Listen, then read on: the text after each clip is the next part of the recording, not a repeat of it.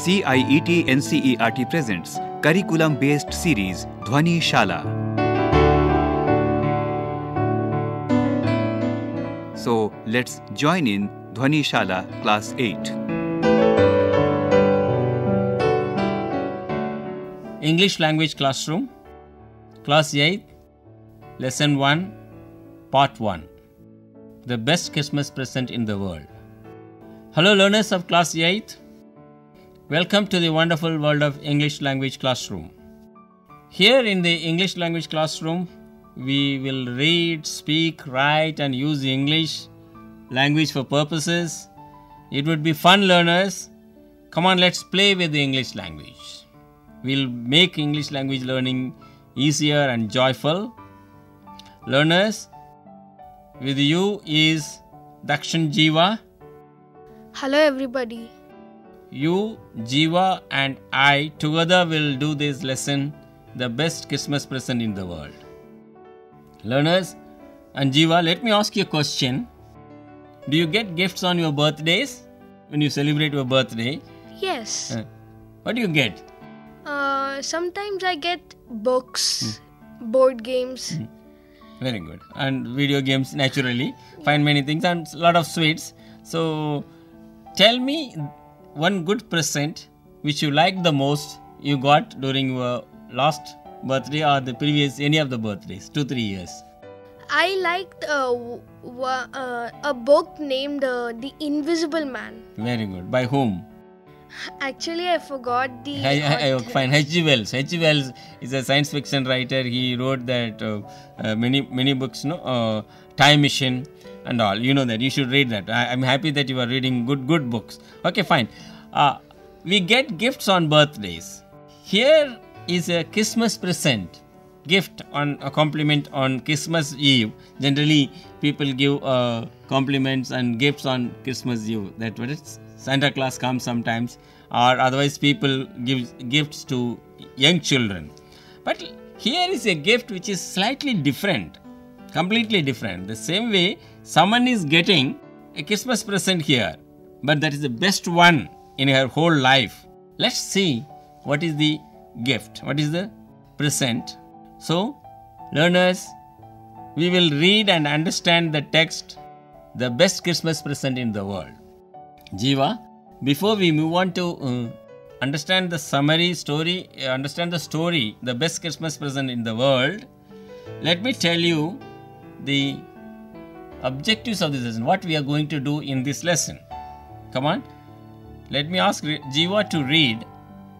At the end of this lesson, we learners will be able to Read the text, the best Christmas present in the world, and identify main ideas, characters, sequence of ideas and events, and relates with his, her personal experiences. Fine. Read the text, relate, understand the event, sequence of the story, and relate with our experiences. Respond to a variety of questions on familiar and unfamiliar texts verbally and in writing. You should be able to uh, respond to the questions. Then, come on, third one.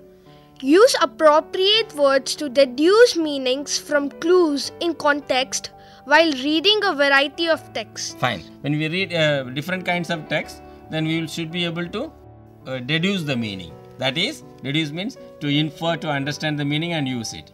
Learners, here is the story, the best Christmas present in the world. I hope you have read it or you are going to read it. So, me and Jiva will alternatively tell you the story.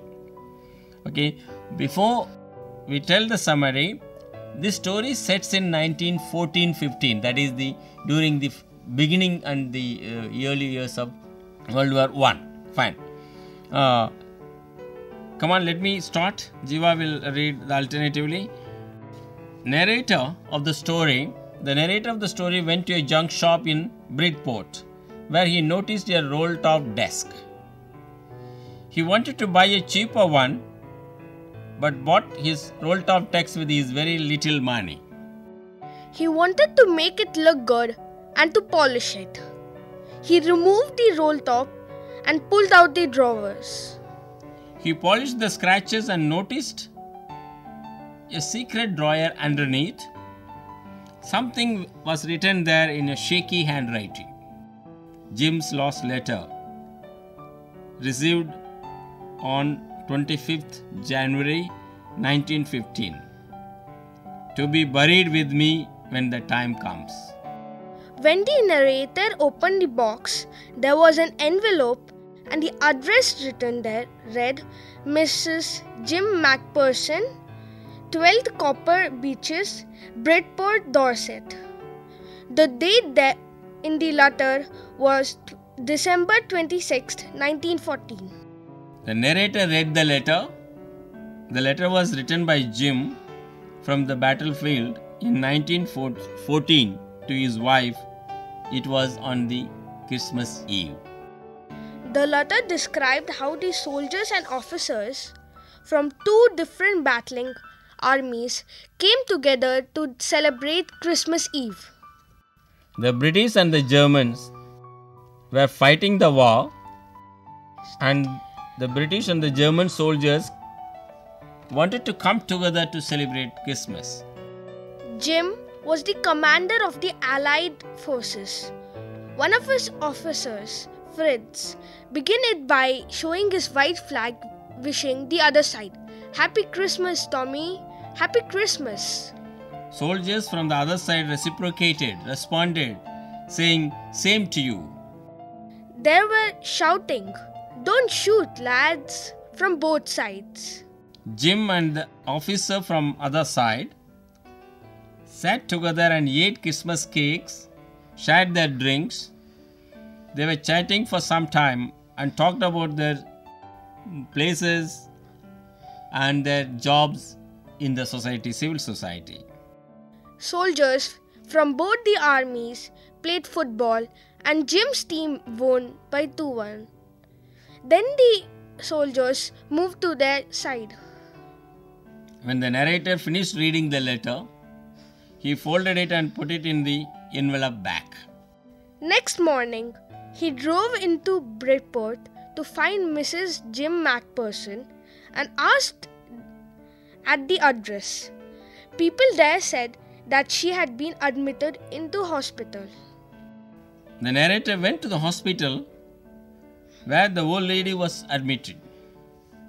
She looked very pale and was 101 year old. She handed over the letter to her. The lady started speaking to him, thinking that it was Jim, and she felt happy that he, Jim, had come back to be with her on the Christmas Eve. This is the story of the best Christmas present in the world.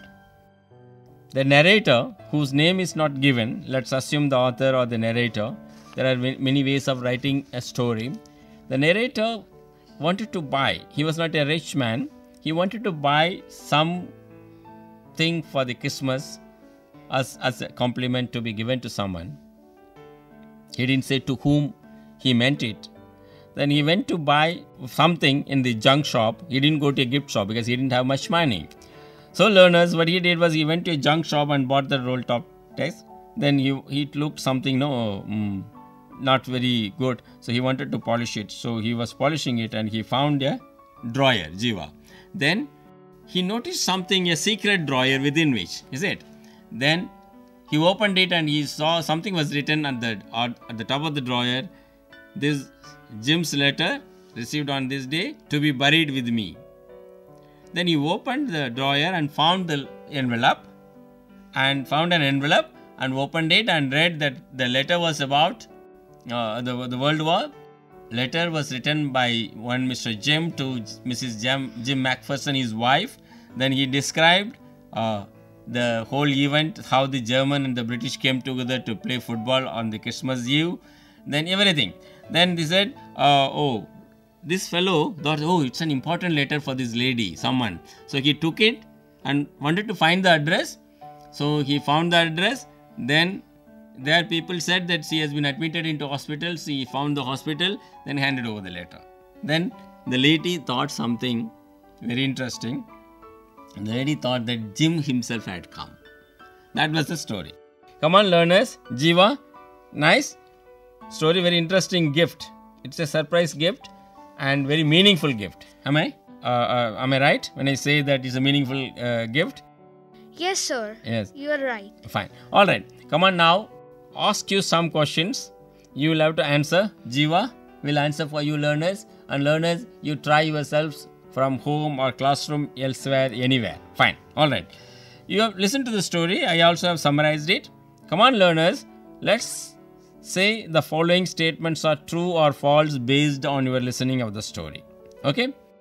Whether the following statements are true or false. 1. The narrator wanted to buy a Christmas present in his little with his little money. True.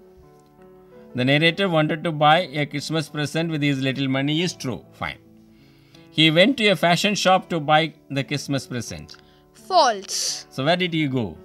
He went to a junk shop. Fine. So next one is coming. The same thing is coming. 3.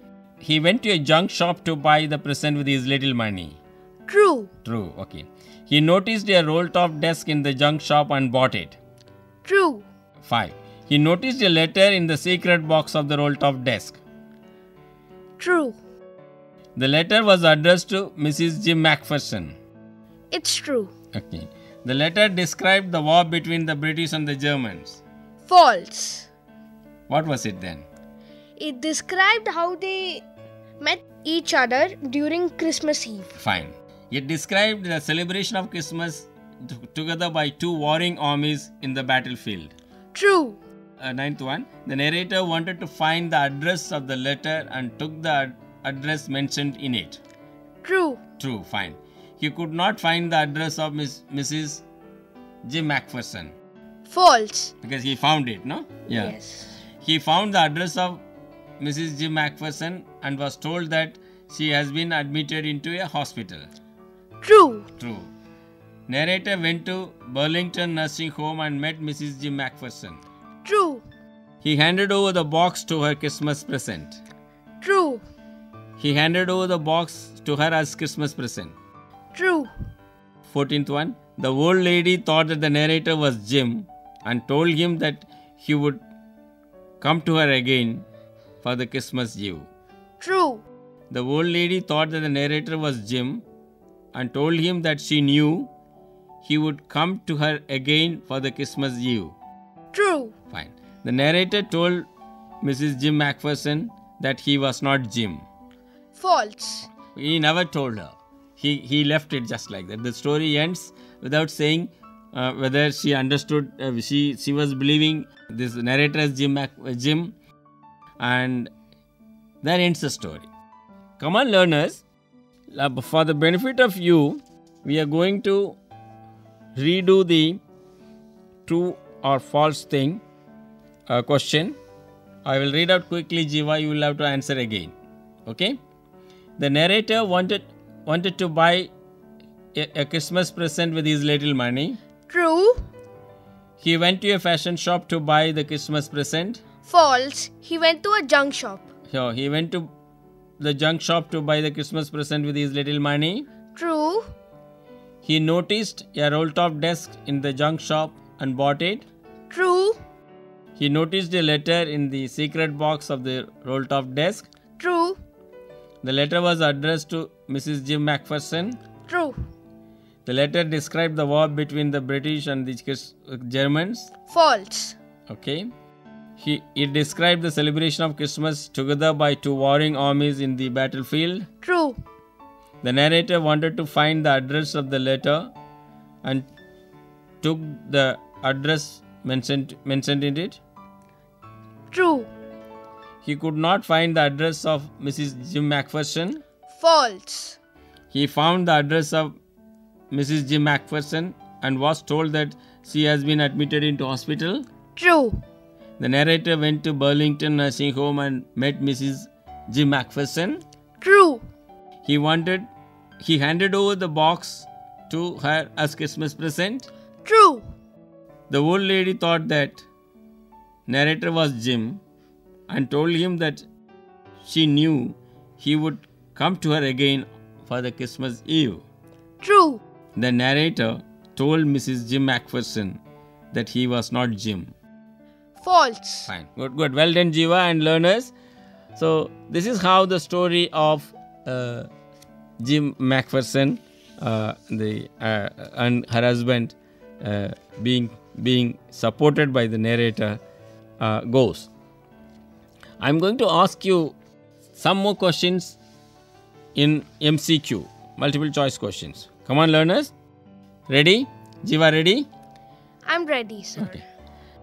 I will read the question with four options. You will have to answer it. The, uh, t- tell the uh, right option. Okay. The narrator wanted to A. Buy a Christmas present. B. Sell his roll top desk. Or a flower pot.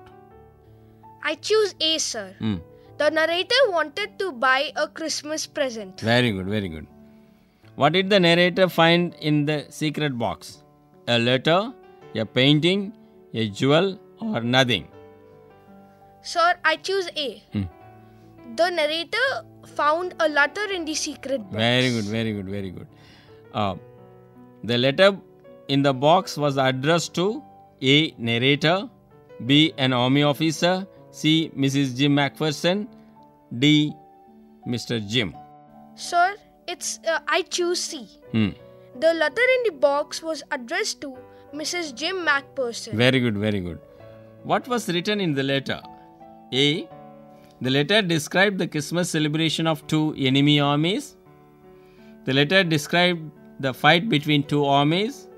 The letter described the life of Mrs. Jim Macpherson.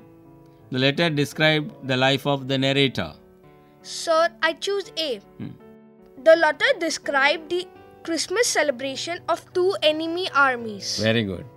The narrator wanted to A. Hand over the roll top desk to Mrs. Jim Macpherson. B. Present to one of his relatives. C. Sell it to a junk shop again. D. Keep it in his house. Sir, I choose A. Hmm. The narrator wanted to hand over the roll top desk to Mrs. Jim Macpherson. Very good. Well, well done. Well done. 6. The narrator found that A. Mrs. Jim Macpherson was in hospital. B. Mrs. Jim Macpherson was in a home. C. Mrs. Jim Macpherson was not alive. D. Mrs. Jim Macpherson left the town and went to the village. Sir, I choose A. The narrator found that Mrs. Jim Macpherson was in hospital. Very good. When the narrator handed over the letter to Mrs. Jim Macpherson, what did, what did she think of the narrator? A. She thought that the narrator was Jim. B. She thought that the narrator was her son. C. She thought that the narrator was the physician in the hospital. D. She thought that the narrator was a stranger. Sir, I choose A. When the narrator handed over the letter to Mrs. Jim Macpherson, she thought that the narrator was Jim.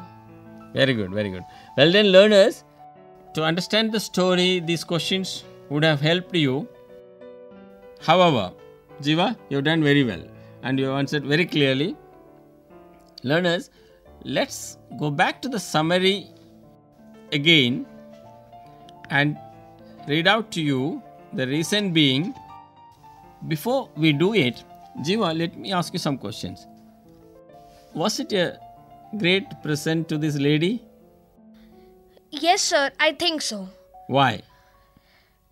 Sir, because she was very old and nobody, like, she had no relatives. And she was thinking this man would one day come.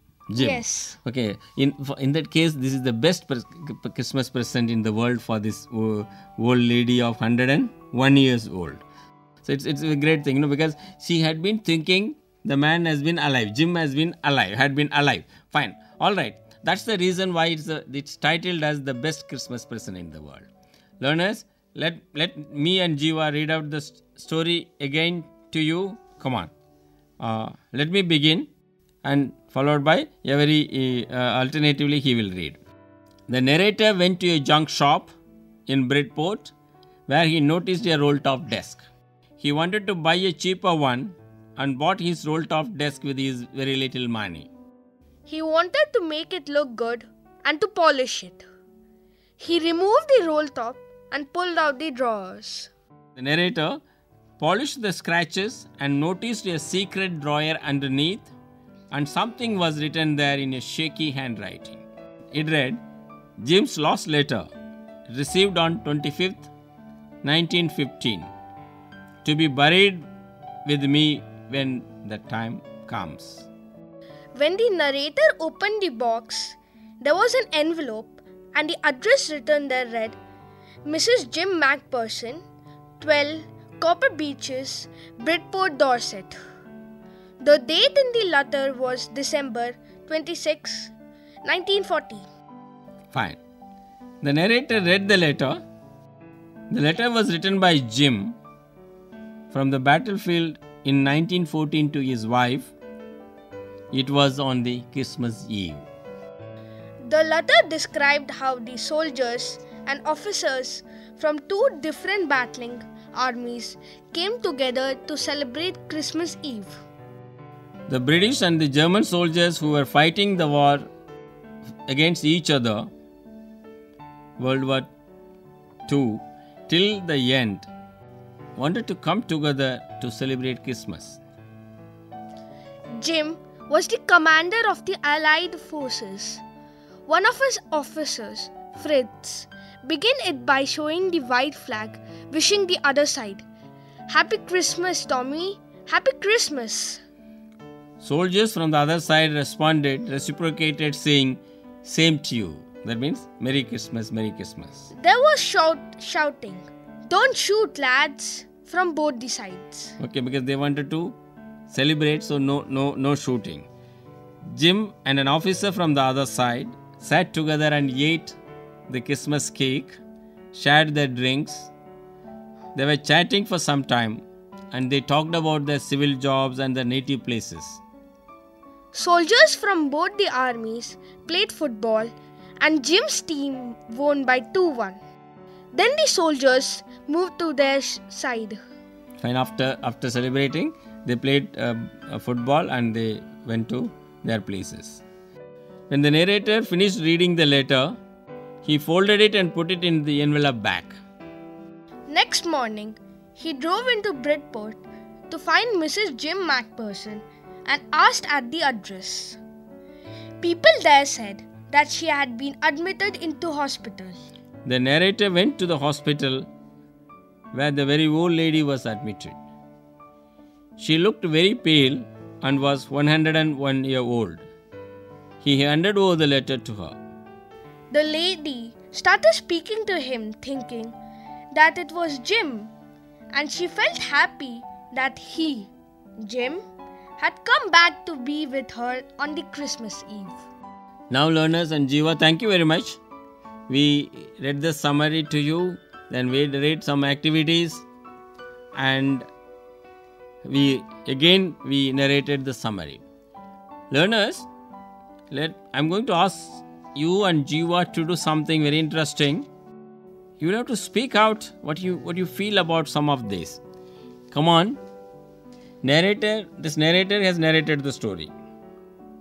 Supposing the old lady muster his courage and at the end of the day she speaks to somebody and tells whatever happened that day. Come on, take few seconds to think then write. So you have to speak in first person. Now I am very old. I turned 101 last week, something like that. Then today something interesting happened. Please go ahead. Take time to think over, then do it. Come on, Jiva and the learners. Now I am very old. Uh, I am. I turned 101 year old day before yesterday. A very uh, interesting thing happened. A man came near me and uh, he looked very much like Jim. He came to me and handed over a letter. It was the letter I last received from Jim. I thought this man was Jim and he had come back to me as he promised that he would come back to me in Christmas Eve. Uh, it was very fun and I at last had someone to share my experiences with. I told him how that my house has burned and how I was shifted to the hospital and that that uh, just day before yesterday I turned 101 S- yeah just like that we spent the whole day talking to each other. But at last he told me that he was not actually Jim Macpherson but he found this letter in a roll top desk. Fine. Okay. Very good. Very good. You said you narrated well, but the story, yeah, maybe taken uh, differently. Uh, she thought that it was Jim. It could have. It could have been. So learners, try.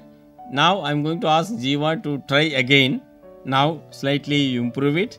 You may you may assume that Jim brought the letter instead of I, I thought it was Jim. You may change it. Come on, speak. Ye- day before yesterday, I turned 101. I, thinking I was very old, was sad. I, uh, then suddenly, a stranger came near me. He looked very much like Jim. Hmm, he was Jim. Assume that he was Jim. Jim came back to me. He was He Jim. He was Jim. Hmm. He handed over the letter to him, me, Which he wrote. which he wrote in the 1914. Hmm. He, I uh, stroked the letter and read it. Uh, I said to him, Jim, you have come back to me, just as you promised that you will come back to me on Christmas Eve. I was very lonely when you did not come. Then I, we shared our experiences. He told me about World War One and how uh, Well- which team had won Hmm. and uh, how they had celebrated the Christmas in a more detailed way. Whatever, whatever written in the letter. Yes. Okay. All So, right. uh, and uh, then I was very happy have Jim again. Fine, fine. That will do. Learners, we need to really brainstorm ourselves to speak. Without ideas, you can't speak anything. You can't write anything. I mean, you can't say to people anything. Should have ideas. You have the idea of the lesson learned, read, summary. We have done activities. So, learners, so put something, then put into words. There may be s- slipses, there may be uh, some errors when you speak. Doesn't matter. Jiva, let me uh, thank you as well as learners. Uh, we will. This is the end of the first part of the first lesson, class 8th, from the book Honeydew, the best Christmas present in the world. Learners and Jiva will meet in the part 2 of this lesson. Thank you, Jiva. Thank you, sir. Thank you very much. You were just listening to curriculum based programs Dhwani Shala. Production assistants Meenakshi Kukreti, Tanu Gupta, and Jagbandhu Jana. Recorded by Bati Langlingdo and Shanu Muksim. Produced by Vandana Arimardan. This program was brought to you by CIET NCERT New Delhi, India.